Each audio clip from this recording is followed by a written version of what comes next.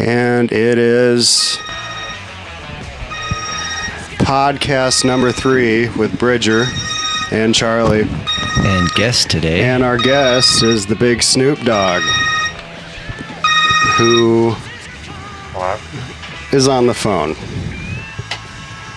What a shocker, huh? Typical of John to get a phone call right in the middle of something. That was somebody who was born in the year of the fork. The year of the fork. Now that's Year a of the fork, okay. That's a place to begin, isn't it? So John, since you got the phone call in the middle of your introduction, what is the year of the fork? 1969, okay, war across the USA. Oh yeah. So for people who haven't met John out in the listening world, is that too loud, John? It, it either is or it isn't. Then it's not. So you're fine with it? Mm-hmm. All right. The year of the fork, 1969. What is today?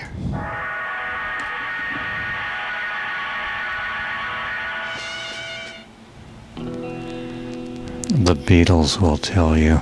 Oh boy. So it's it's the Grandmaster Day of Helter Skelter here on podcast number three. And another phone call. cease to exist. Turn your phone off and be a professional. Come and say you love me. We're doing a radio show about Helter Skelter, and you're calling in the middle of it. All right, turn the turn the ringer off. Okay. Then you'll call him back when we're done. We got Cease to Exist on, John. Now there's a connection here. Year of the Fork, Cease to Exist. Who are we listening to here? The Son of Man. The Son of Man. And for those who don't know your encrypted language, aka, Yeah, you can have my word. They just have to know. Oh boy. Bridger, do you know? Yeah. Who is this? Uh, Seaman? The Seaman, the Charles Manson. Is that right, John? And what's the claim on this song? I think that's a good place to begin. Is there a claim on this song? The Beach Boys. Don't understand it. No, actually, it's not that one.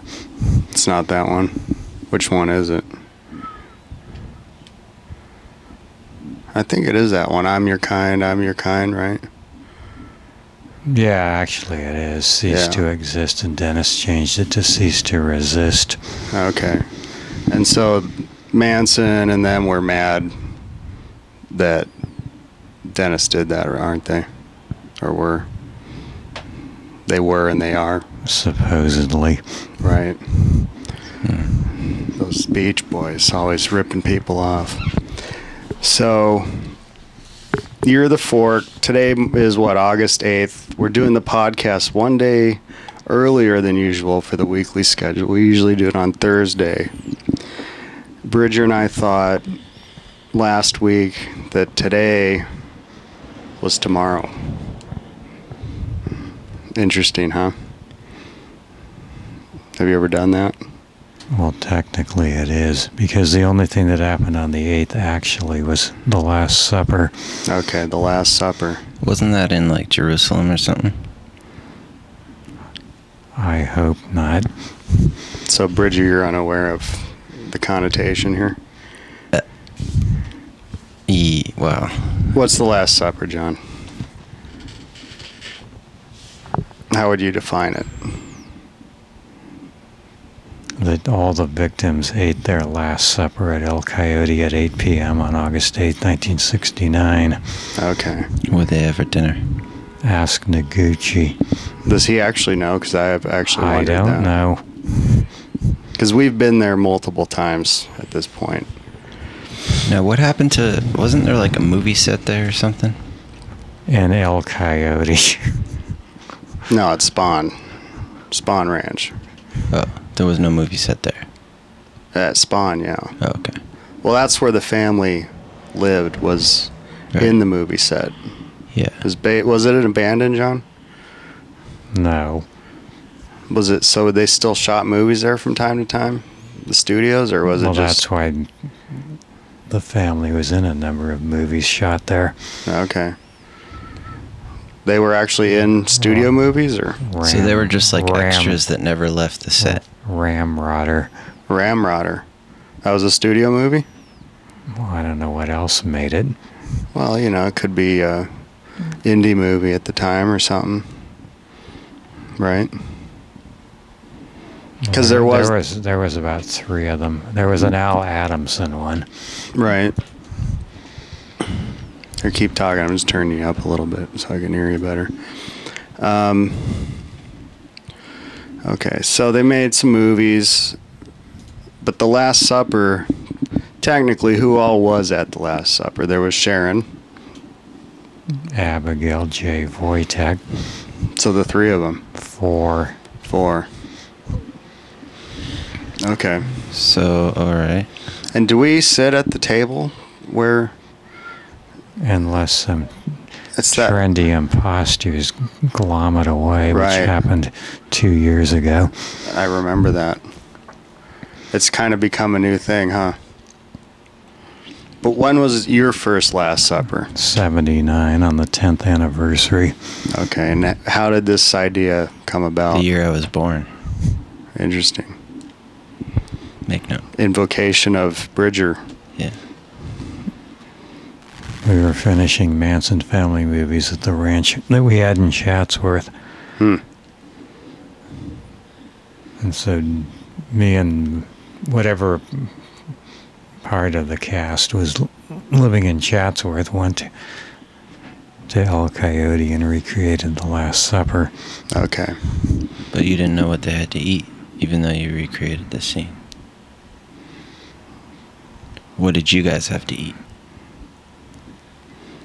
Was the cast? U- mem- usually What did you guys? blue or gr- oh, I only eat blue or green tamales usually. well, you used to have chicken enchiladas, right? Maybe. It's recently switched to that.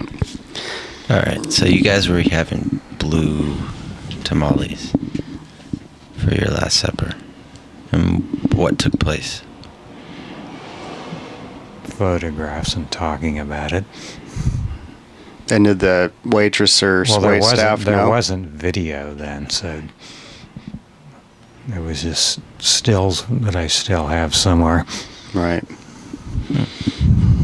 So perhaps, John, we need to give you an uninterrupted, proper inter- introduction for uh, our listening folks who aren't familiar with your your uh, deeds.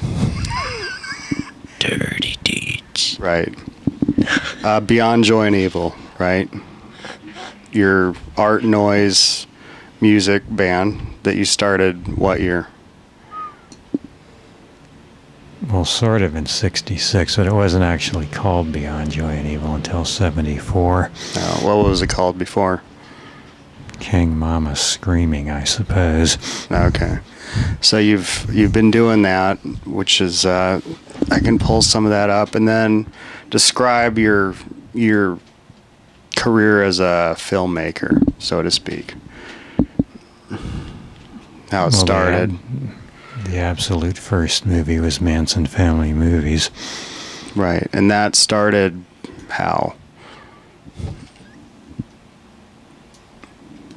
Well, I was going to make this. Well, there was this girl who was who called herself King Hog, and then they got changed to King Mama. And I met her when she was 16, and I was probably 18 or something. Okay. And and she had this obnoxious friend who was either called Son of Hog or Prince Gwonk. That's pretty And. I was g- gonna make a movie about all this ridiculous stuff that they were doing, Yeah. like going over to somebody's house and going in the closet and shitting in boots and spitting on furniture and licking things. So you're gonna make a movie just about what the typical antics of. Well, that was called Weenies on Your Porch, and it got partially made, Oh, really? but it was actually made. Pieces of it were actually made after a lot of the Manson movie was made. And what what stage of production is Weenies on Your Porch in at the moment? I'd like to completely recut it. Is it? I've never even seen it. It it's on IMDb for unknown reasons. Right.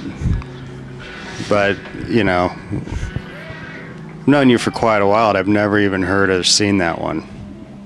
So is it? A, do you even have it on video right now? Yeah, Okay. So what are we hearing right now? It's a little clip from Beyond Joy and Evil. nine, Beyond Joy and Evil in 1974. Okay, so this is one of the earlier incarnations of it. So you did the film, you did Manson family movies, which took how long? Ten years. All right. Well, it, it actually got made because I was in New York and saw Pink Flamingos at the Elgin when it first came out at midnight, yeah. and was sort of shocked and amazed that a lot of my scenes were in that movie. That your scenes were in Pink Flamingos. Well, John Waters had had Divine doing the exact same things that King Hog and Son of Hog were doing. And you talked to John Waters about this? Later on, hmm. Had he seen your movie before he made Pink Flamingos? of course not. Okay. So there was a correlation.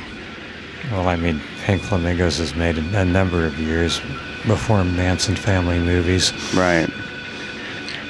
So when you say a number but, but that caused me to realize I had to make a different movie. Hmm. So I decided to make a Manson movie. Okay.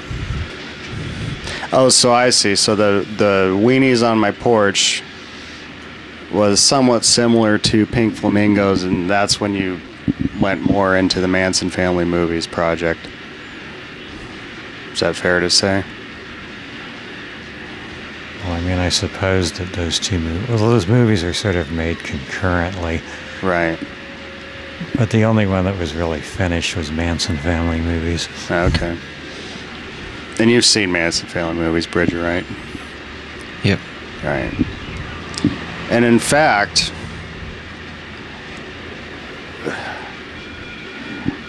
uh, we were, you and I, in a way, were instrumental in providing part of the soundtrack for uh, Manson family movies. Is that right, John? You care to elaborate on that?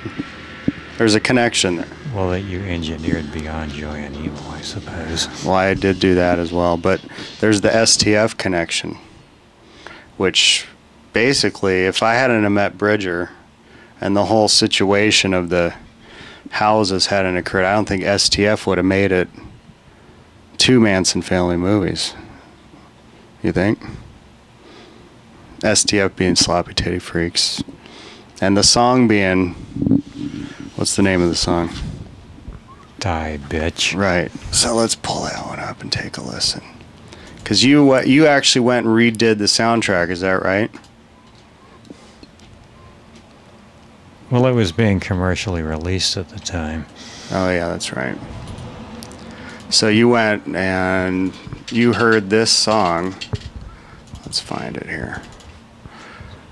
And how did that how did that deal go down eventually? Because I didn't quite know. Did you just say to Sean or Sunil or do you remember? Well, Tom's actually signed off on it. Oh, Tom's the one that did it. I didn't know that. So here's the song, which they may not have known what they were getting into. Yeah, they didn't. They didn't know. So here's the Sloppy Titty Freaks, and this song appears at what part of the movie? The murders, of course. The murders of who? Sharon. Oh, of Sharon. And here we go.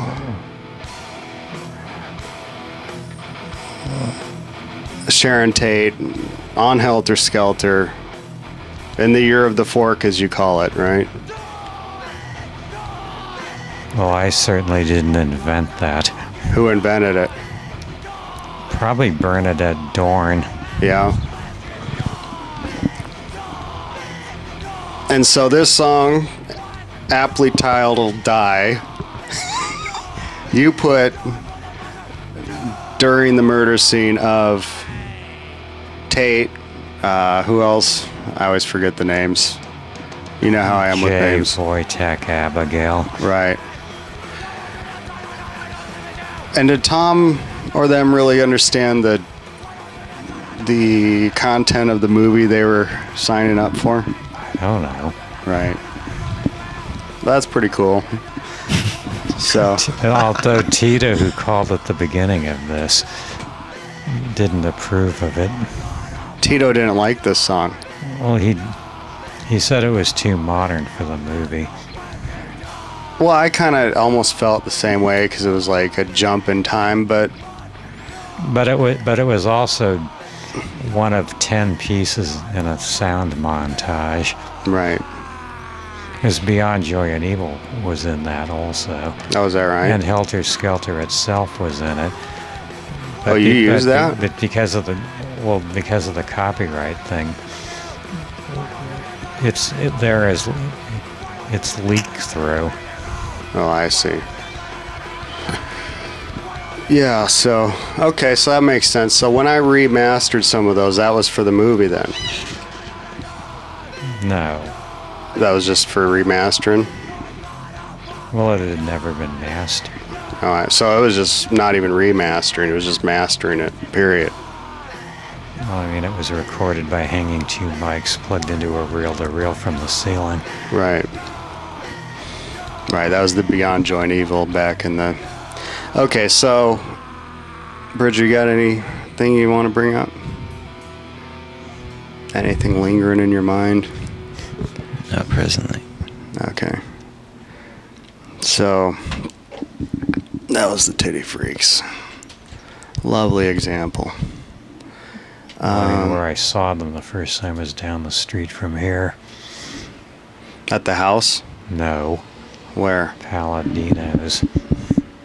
Oh, was that the triple triple billing that night? Yeah, So that was that was actually a show I actually played as well. That was the Blumpkins, right? Which was you, Sean Shamblin, and Nick. Mm-hmm. Is that it? Yep. And then Sloppy Titty Freaks. Yep. And then I came up from Long Beach, skipped an extra job. I didn't even check out. Me and this drummer I'd only played with once drove from Long Beach without telling the directors or anyone we were leaving the movie set. Came up here, played a 40 minute set, drove back. And still got paid? Still got paid. They didn't even know we left. It wasn't even like a break or anything, but so I think that was the only show And that is the show that we have on video that Right. you have right now, the VHS. that I haven't watched yet. So, okay. So here's here's Bobby, Bobby Beausoleil. Is it fair to say Bobby kind of set off the whole helter skelter chain of events? Like, what was the initial spark that set everything off in the the Manson family's Bugliosi calls them family murders? Is it Bobby that really set it off, or was there more before? In your opinion? well, there was all kinds of things going on. I mean, it was mainly Tex Watson's drug deals. Right. Tex was dealing drugs. As was Jay and Wojtek. Right. So, how that had been going on long before the night of the Last Supper, Helter Skelter, right? Yeah, And that was just kind of a, that was almost a given in the dynamics of the group that was hanging out that there was uh, drug dealings going on and the, the uh, hanging with the Harley dudes and the the uh, drug parties with the musicians and the girls and everything, right? That was kind of the typical day-to-day operations of hanging out and partying. Well, I mean, it was slumming movie stars and rock stars and hippies and Right. the Manson family. Exactly. And so, how did Bobby get involved? What happened with Bobby? Because that was that started before the Tate murders. Bobby, Well, everybody was initially in Haight Ashbury. In Haight Ashbury. Everyone was up there, Yeah. Just hanging out. Well, Bobby was living with Ken at the house called the Russian Embassy and starting to make Lucifer Rising. Hmm. And Charlie and Sadie and were living at the, I think on Cole Street In San Francisco. in Haight Ashbury. Okay. And Mary was in Berkeley. This is before. Before. This is how they got linked up with Bobby. This no, is. they met. They, I don't know that they ran into Bobby up there. Oh. But there was the the free clinic parties, which that play was about.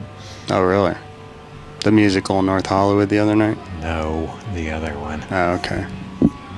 which I don't now I don't remember the name of it. Right.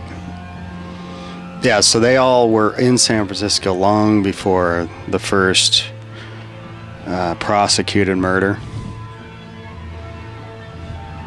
Well, I mean, it was before the what was called the Manson family was even in L.A. Right. So they were all in San Francisco. So Francisco. they migrated and they were living with Ken. No, only Bobby was. Living with Ken, and then he moved down there and he was part of that operation. No. What? Who? Bobby? Yeah. Bobby was living with Ken because Ken had the movie Lucifer Rising. And what happened? Jimmy Page backed out on making the soundtrack. Something Jimmy happened. Jimmy Page did make the soundtrack, but Ken didn't like it. Okay. He didn't like it. So then Bobby was brought in Yeah. and Well, Bob Bobby wasn't brought in to do the soundtrack. He was brought in to play Lucifer. oh in the movie. Did he? Well, no, there's the only piece of footage that exists is Invocation of My Demon Brother, Right. and Ken, of course, claims that basically he shot the whole movie and Bobby stole it and buried it at Barker. Okay. But so Bobby claims that only a few minutes were shot, hmm. with him and in there, it. and there was nothing to steal. Now maybe it. you can expound on who this Bobby person is for our listeners. Well, Bobby Beausoleil was, and I'm pretty sure this is the situation. Bobby was supposed to become the next Black Pope. Is that that's fairly accurate to say, right? No. Well, he was in some sort of What is accurate to say, John? right. He was he was in a number of rock bands, and that's what he was into. Okay. So how and, did and that's where Ken met him, because there was this church that was trying to be hip, so they were having these happenings. okay?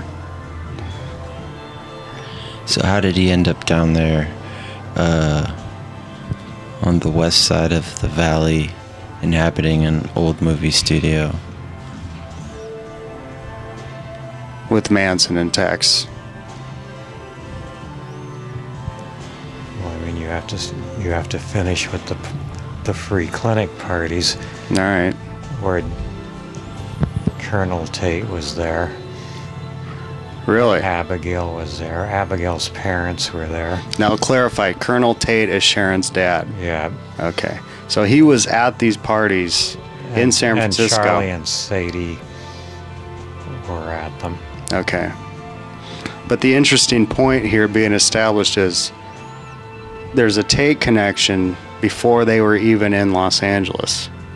Is that what you're saying, basically? Yeah. Well, I mean, according to that play, Right. the whole thing was about an affair between Abigail and Charlie.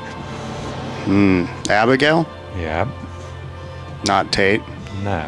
Hmm. Well, Sharon wasn't ever at these parties. Right. But her dad was. She was. Well, Was she even famous then?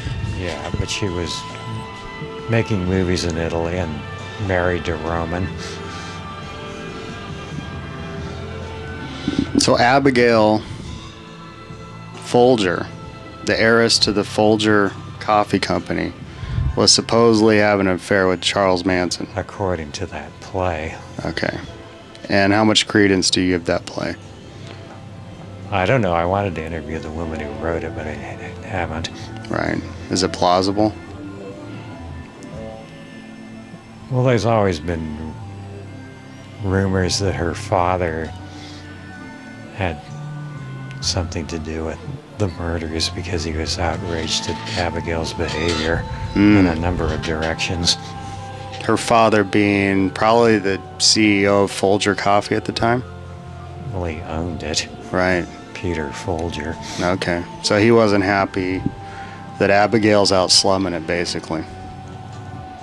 The best part of waking up. It's is Abigail Folgers in your Folger. That's right. Yeah.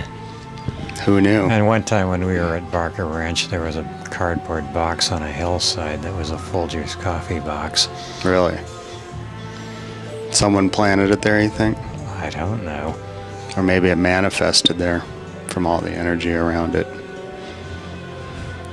So, But then after these free clinic parties, I mean, they were to raise money for the free clinic. right. And Abigail's, according to the play, Abigail's mother was the one who was t- totally into trying to help the hippies and all that stuff. And Peter thought it was ridiculous.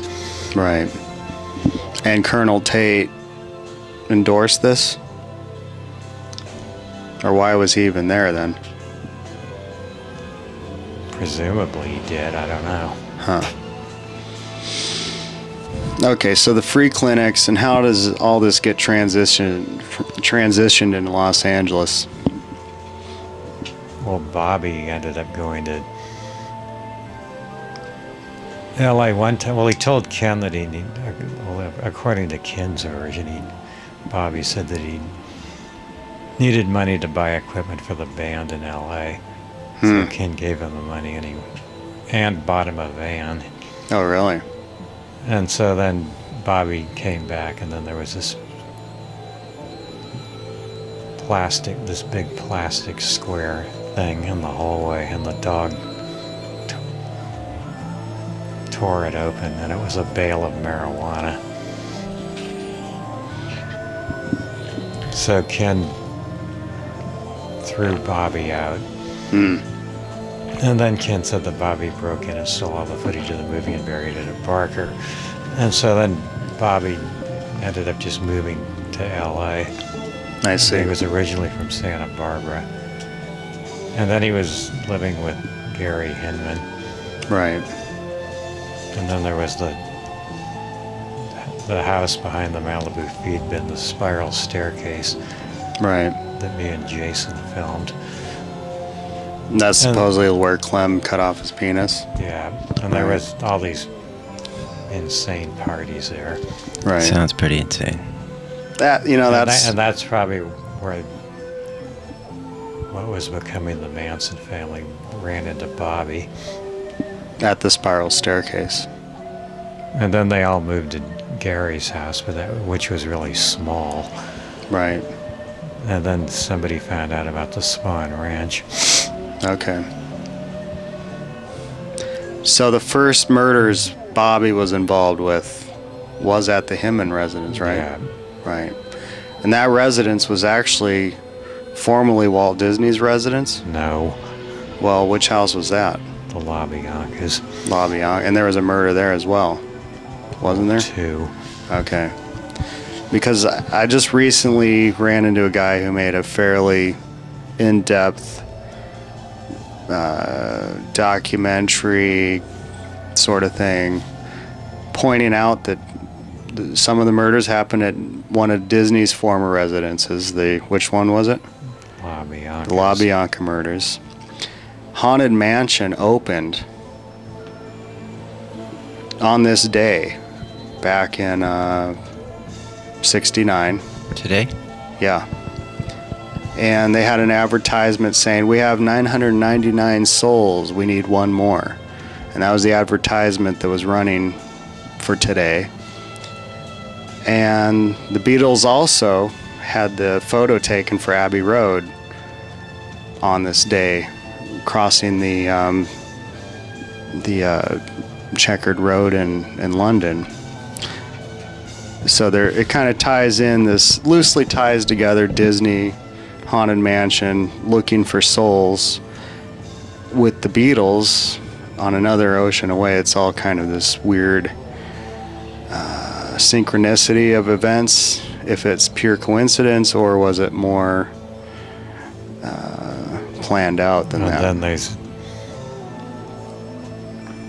August 8th and 9th, 1945, right which was dropping the bomb on Hiroshima. And, and then, ac- according to a bizarre story, um, the Spear of Destiny right was found in a bombed out bank vault by U.S. soldiers who handed it to General Patton. And supposedly, the second that it was in Patton's hands, the bomb was dropped and the U.S. won the war. And this is all in 45 Yeah. Right. So, in that sense of the case, for some reason, 8 9 has some sort of spiritual, ritualistic. And then the, Weirdness the to it. earliest thing was the Battle of Adrianople. Which was what? I think it was 500 and something. Hmm. I- 575. I don't know. I'm not sure what year, but it was on August 8th and 9th. That has something to do with Caesar? It was between the Goths the, and the Romans, Right, and the Goths won, right. and they marched on Rome and sort of trashed everything.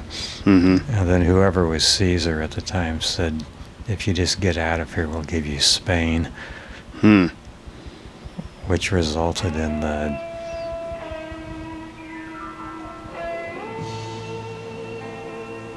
And the what? well, the Aryan looking Spanish, Hmm. The Castilians. Got it. So, 8 9. Is it, is it magical? It's too bad the Magic Man Well, isn't here. Jack Hollywood thought it was just a bad date Right. A cursed date like Friday the 13th. because the Jesse James Hollywood situation was on, on August 8th. Is that right? And what part of the situation? The kidnapping? The, no, the murder at midnight. Oh, the mur- they did the murder at. Is that right? Did not know that. Well, Ryan Hoyt and that other guy. Right. I mean, it was just well that the Jesse James Hollywood thing was just total Manson parallels. But were they aware of it? Jack seems to have been somewhat of aware of it. I don't have any idea if anybody else was. Hmm. You know about the Jesse James Hollywood Bridger? So that was what drug dealers in Canoga Park. Well, it was weed. This a bunch of kids selling weed. Right. And one of um someone thought somebody ripped somebody off so they kidnapped one of the rich kids or something. Nobody was rich. Well, the I mean, there was this. I'm not going to remember all the names, but there was. Was this guy who, who had been like buying from Jesse James, right. and he owed Jesse James a bunch of money. And he'd been in and out of jail a lot. Jesse had? No, Oh, the kid. Or the dude. the other guy. Right. his younger stepbrother was the one who got kidnapped because they were going to. Hmm. Con- Well, the, the guy that owed Jesse James money, instead of paying him, went over to his house and broke all the windows out and stuff like that. I see. So they went to get him, and then they ran into his younger brother. Hmm. But then they ended up like more or less partying with the younger brother. Right. But then this one guy who was like an extreme sycophant to Jesse, Hmm. who was the Tex Watson of the situation, decided that what Jesse actually wanted was for him to off the kid. Hmm. Even though that's not what Jesse wanted. Well, I don't think it was. Right. So what Well, happened to the then- kid? well, Ryan Hoyt and this other guy killed him in the woods near Santa Barbara on August 8th and at midnight. And they left him up there, right? Well, they buried him, Right. but not very well. Then they went looking for Jesse, and he had to run to where Brazil. Well, Jesse, like Charlie, was off with his girlfriend elsewhere Right. when this happened. And then there's the whole thing about the phone call. Oh, and- really? It, I wish I could think of everybody's name. Because Ryan Hoyt's the one who actually did the killing, Right. and then his sort of assistant. I And mean, Jesse well, was well, this- nowhere around all this. Right. Well, this all, all, some of this came out. We had a dinner party. Me and Marlon, who did Manson, the Manson Now book. Right. Well, I, well although Marlon wasn't. Well, Marlon knew Mark Hollywood. Mark Hollywood. who was Pamela Anderson's boyfriend at some point, Oh boy. and he Before Tommy showed her the goods. well, it was right before Howard Stern actually, Okay. but he was in jail because of some incident that happened on Pamela's property where the a neighbor, according to him, attacked him, but he whatever happened, he got put in prison behind it, and he was in with the guy that assisted Ryan Hoyt. Hmm. And he said that this, I mean, I wish I could remember the names, Right. but he said that, I mean, I think his name was Jesse something. Hmm. Two Jessies. But according to Mark Hollywood, this guy said that what the phone call actually was, was Jesse saying, leave the kid alone, he's not going to talk. But, but for some reason, right after getting that call, Ryan decided that he was going to off the kid. Right. So, the short version is some guy owed Jesse James money for drug deals. Uh, that guy who owed the money went and broke, vandalized Jesse James' property. Yeah. So they went and ran into Jess, the kid who, who was uh, The younger brother. the younger brother of the vandal. Kidnapped him, but they ended up liking the kid partying with him. There was a phone call where Jesse said, Leave the kid alone. But this Ryan Hoyt and his accomplice decided to do otherwise. yeah. And Jesse got pinched for it, basically. Where he was on the run for, what, two or three years? No, I think it was more like eight years. That's quite a while. Now, tying this back to Manson, the reason we brought this well, up. although- well, I mean, the other thing is, is, is that, I mean, it's just completely bizarre that somebody's last name is Hollywood and their case gets sold out to Hollywood before the trial by the DA. Right. So, do you think there was some setting up of the situation beforehand? Nah. Was the black hand at work? Well, the thing that happened in the Manson case is that Sadie's testimony to the grand jury was on the front page of the LA Times the next day, and a week later was the first book on the Manson case. So someone had done quite a bit of work, No, they just threw money around. right? So there was a lot of money involved. Now, I've always kind of been of the opinion uh, the then administration of the U.S., Nixon mainly, or the people behind Nixon, didn't care much for the hippies and were looking for a way to um, destabilize the movement to some degree. And they used this Manson situation, the murder situation here, to kind of uh, make the hippies look really bad and use that to uh, change public opinion. The evil hippies. Is that is that a fair assessment? With the media uproar and Well, I mean, it's what happened. Whether it was an intentional government thing is another thing. right, But there's stories about the idea that Manson was let out on a leash. And there's all kinds of stories about him blatantly violating parole. Hmm. And the in front of the police and they never do anything. As if Manson knew that that was the situation.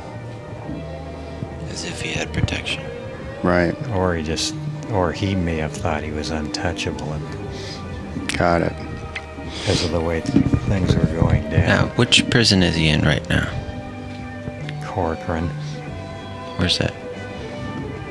I don't know. Where is Corcoran? north of Bakersfield. Okay. And he's not getting out. They were all put on the death penalty, but the overturning of the death penalty in what, 72? Turn something like that. turn their sentences into life sentences. And then in 74, California reinstated the death penalty.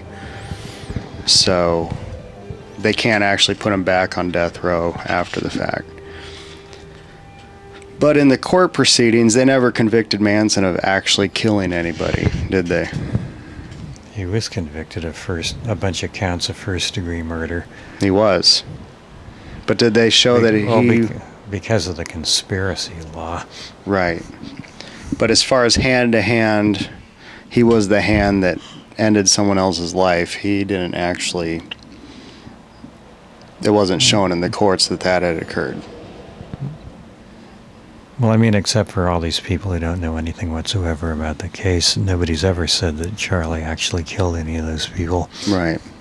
But there's a lot of public opinion out there that, you know, some people listening to this may have that view, but Manson himself didn't actually pull the trigger. Well, I mean, what it's finally come down to is that Tex, in the Tate situation, Tex killed absolutely everyone, right. and Sadie probably didn't kill anyone, Hmm. and Patricia helped kill Wojtek and Abigail. She was like a assisted Tex. Right. And then the La Bianca one the next night. Leslie, after Abigail was dead, Leslie was handed the knife. Hmm. To get her hands dirty. Yeah, Right. and so she stabbed a corpse a bunch of times. Right. A dead corpse.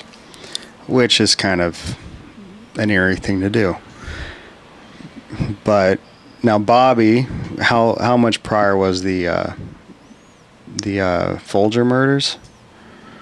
Was it two weeks before? The Folger murders are part of the Tate murders. Okay, which ones were the ones Bobby were a part of? Gary Hinman. Okay, the What about the Maxwell murders. House murders? Right. So the Hinman murders were about what two weeks before? It was probably two months. two months before.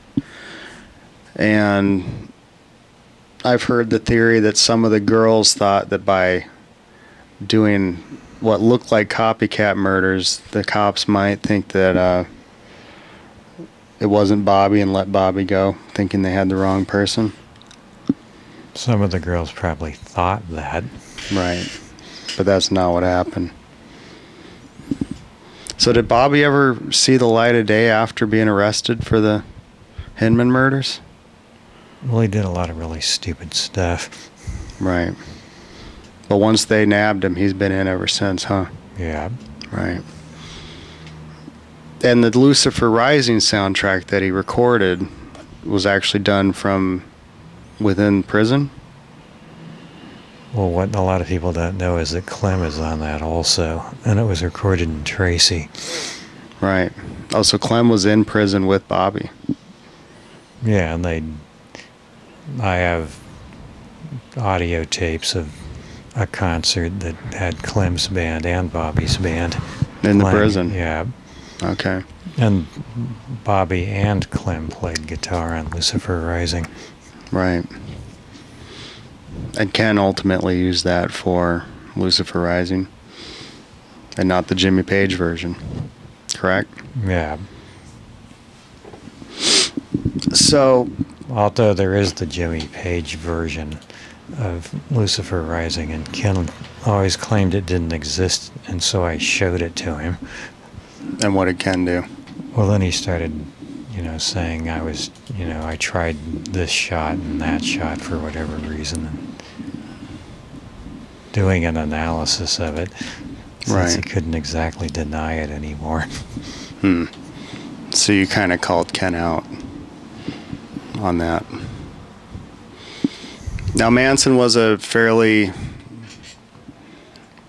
still is active uh, musician, correct? Yeah. What do you think the coolest song is? Do you know? It's your favorite. Well, I mean, there's a number of things on Lie Right, like which one? will cease to exist. Garbage dump. Oh yeah, I like Garbage Dump. Let's play that. I think that's a great environmental song, right? Because he's kind of confronting the idea of this might not necessarily be garbage, right? Well, they're eating it. Who's they? The oh, family. Garbage dump. Right. Oh, garbage So when they were living at Spahn Ranch, Are you called they were going down and garbage dump? Oh, garbage dump. This is the song here. I think the line is you can feed the world with my garbage dump, right? Yeah. You could feed the world with my garbage dump. You could feed Now that's pretty interesting because now we got all these green hipsters running around talking about saving the world and all this stuff and And where do you think the Green Party originated? I don't know. Do you know? I used to have a pin for it. Oh yeah. From where? Nazi Germany. Oh boy. That's probably a whole nother podcast though. Yeah, probably. But so Manson and the the Manson ladies and the, the guys were going down and pillaging the dumpsters behind the grocery stores and feeding off of that basically. And that was what they were doing for a long time, huh? Yeah, and I got a ride from these girls with a step van in the Sierras, and they had parked in back of a fancy restaurant in Colorado for months, Right. and that's all they ate for months. Just the leftovers from the fancy food. Yeah, Well, that's fancy. So, today's Helter Skelter. What do you have to say, John? Anything? well, I mean, there's a lot of people who think it's from a Manson family point of view politically incorrect to call a to turn the thing into a holiday and call it Helter Skelter after the Bugs book and theories. Right. But to me, it's just a, a vicious satire on mass culture combined with a joke and dada. Right. How so? Well, I mean, that's rather obvious. But for the less Some people don't get it though, some man. people won't get it. Could you like break it down? Digest that for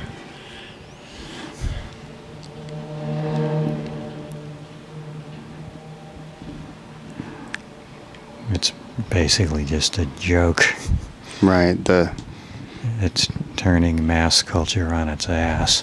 Well, right. where did they come up with the name Helter Skelter? Where did who come up with it? I don't think Bridger's as familiar with it as I might be. So, Why don't you answer that?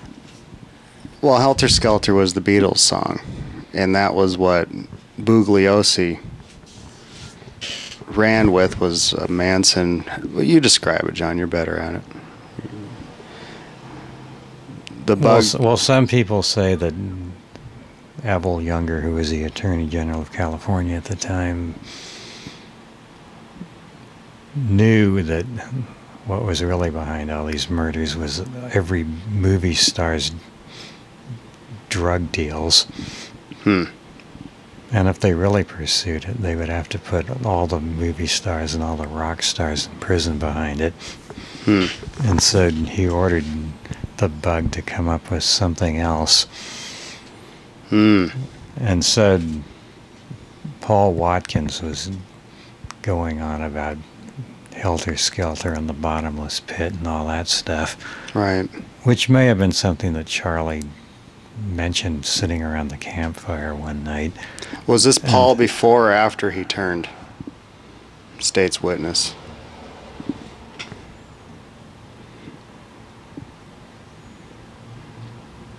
Well, it was all during the trial. Okay. Well, I mean, well, then, then there's the whole thing about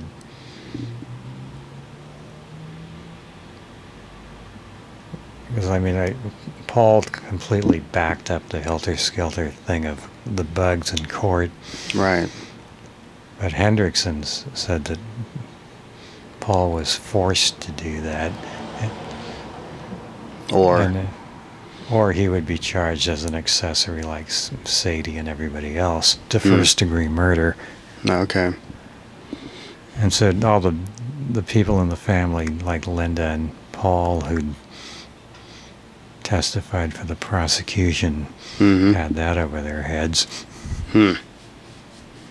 And supposedly Paul made a tape before he died exposing all of this. Really. So Paul.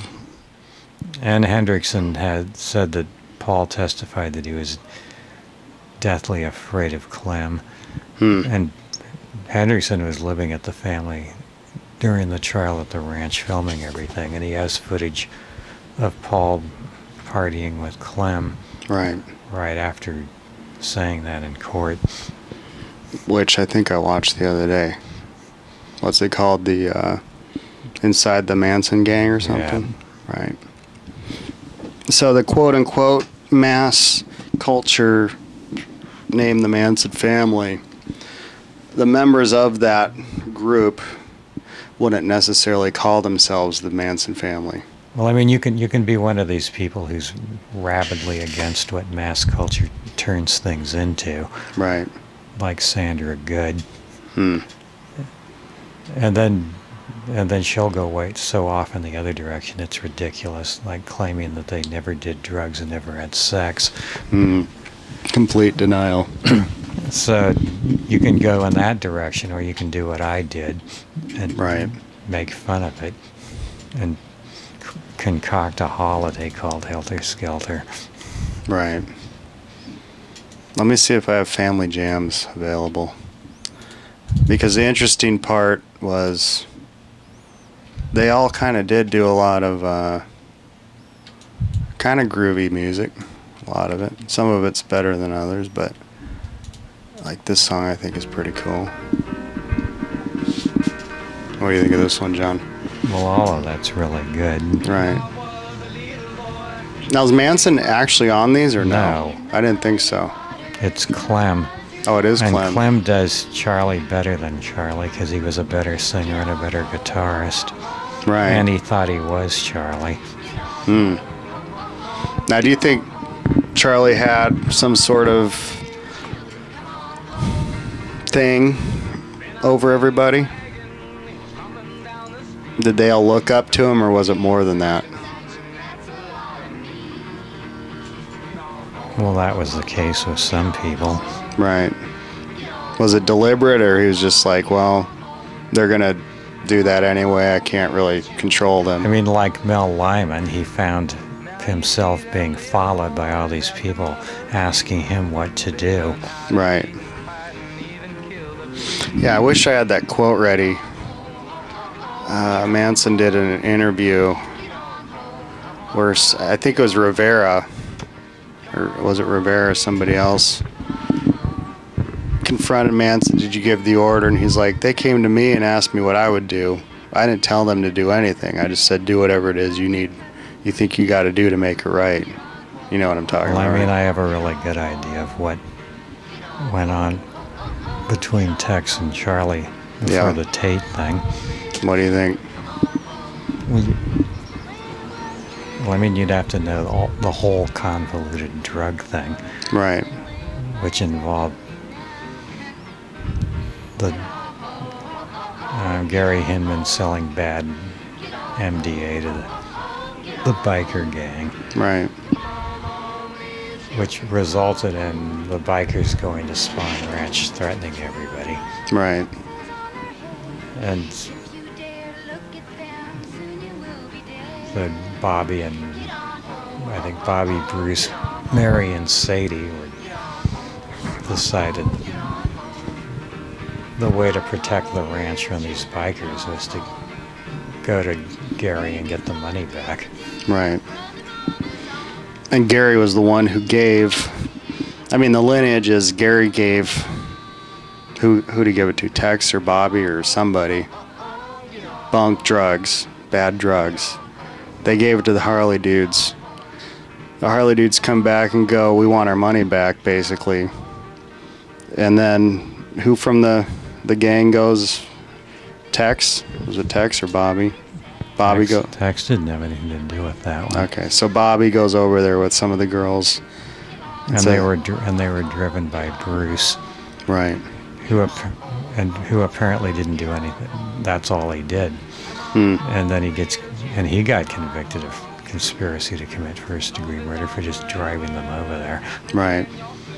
But they were going there to get the money back from the bad drugs that these Hinmans, the kind of Hollywood bourgeois, so to speak, had ripped them off, or, and then the because uh, they were under threat from the biker gang, which isn't fun, right? And then there was the Tex and the Lotsapoppa thing. I don't know about that. Well, that was a a black guy that Tex did the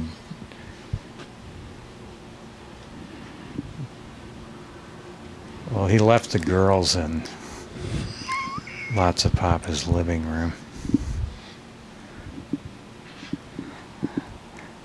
Bridger, you were looking up at Gary versus the Magic Man. he, had, had one of the greatest looks. Just to digress, John. What do you think of Gary versus the Magic Man?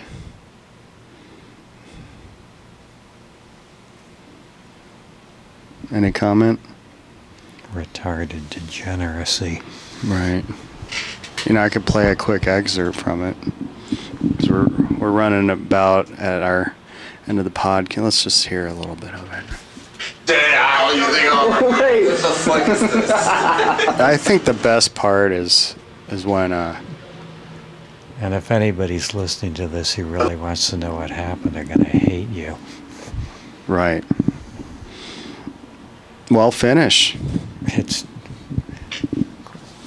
it, it can be endless. I know that's the problem. We we try to fit it all in one hour. Maybe we'll have to do a follow up later. I mean, this could be a double feature on the podcast, right? Don't you think? I mean, we're just touching the surface here. There's so many details in the case, what really happened. You got the the Harley gangs, you got the uh, the uh, Hollywood hipsters, so to speak, who think they can just get away with whatever because they're hipsters, and the Harley dudes are like, I don't think so. And then uh, the family, so to speak, the the Manson group, uh, kind of caught in the middle there, right? Yeah. Now Tate, Sharon Tate, real quick. was in a movie called what Eye of the Devil or 13. Or 13 And her last movie was called 13 Chairs. 13 chairs which I found on YouTube and it wasn't easy. If if this was all some kind of Hollywood potentially satanic ritual was Roman aware of it? Well, I mean, there's that Diane Young woman who was in Marlon's book Right. who has that whole thing about the Roman orchestrating the whole thing, but she won't back anything up. Hmm. She just says it. Yeah. And then, Interesting. she, then if you try to get her to name names, she says, I'm not a snitch. Right. Yeah, because Sharon kind of did fit the profile of a almost a perfect sacrifice. She was young, very pretty, um, okay actress. You know, okay, not. Not. What do you think? What do you think of her acting skills? I don't know that I've ever really paid a great deal of attention to it. Right. Yeah, she was okay. But, you know, anyway, today is Helter Skelter. I think we're about over on time for the podcast. But like you said, John, there is so much more, isn't there? I mean, that's hardly any of it. I know. Perhaps we'll have to revisit this in a special podcast, right? What do you think about that? with the pod people. With the pod people. And perhaps we could even do on location for some of it, right? With Mhm. video, maybe. That'd be a real treat.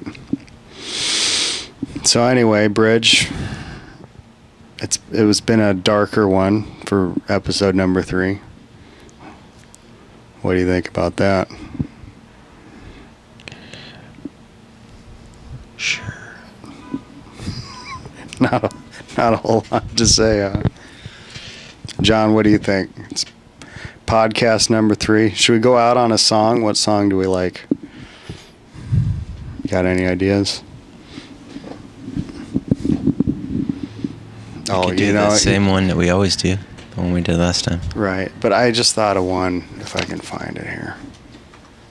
Do I have it? Yes, I do. Just, just because I brought up the Magic Man. I don't know which song is their best, but everyone loves this group.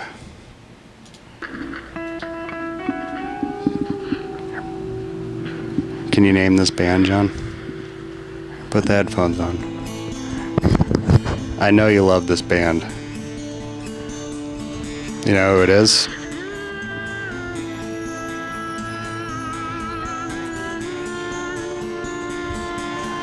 Happy, joy, and evil. Talking to the mic.